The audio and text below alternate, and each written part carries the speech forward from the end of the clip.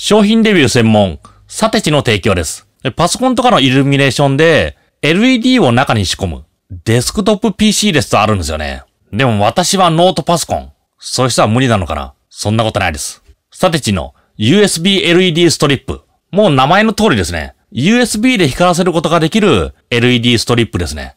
USB のケーブルが1.5メートルぐらい。それと操作部。そしてストリップ本体ですね。もう使い方簡単ですね。USB に挿すだけです。今回、モバイルバッテリーに挿します。便利なところ。電源を入れるとすぐにつきますね。これいいですね。例えばパソコンの電源を入れた後に、わざわざこの USB ストリップの電源も入れないといけない。そういうことしなくてもいいですね。操作方法。モードボタンを押しますと、この点滅パターンが変わりますね。速くなったり遅くなったり、スムーズになったり、なフラッシュになったり。あとはスピードとか変えれますね。モードによっては明るさも変えれます。色も変えれますね。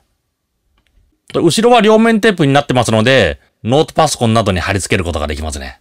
あとノートパソコン以外でも、最近のテレビとか、USB 給電されてますよね。だからそこから電源を取れば、テレビの後ろに貼り付けておけば、間接照明としても楽しめますね。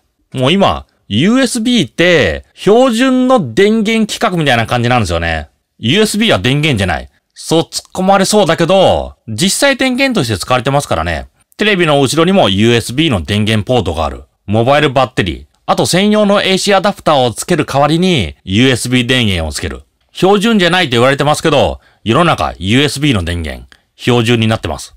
だからこの LED ストリップ、USB で電源が取れれば、どこにでもつけることができるんですよね。部屋のスイッチに連動するコンセントにつけておけば、部屋の照明としても使える。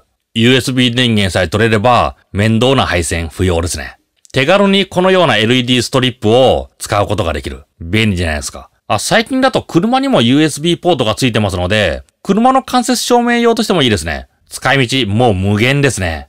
このようなイルミネーション。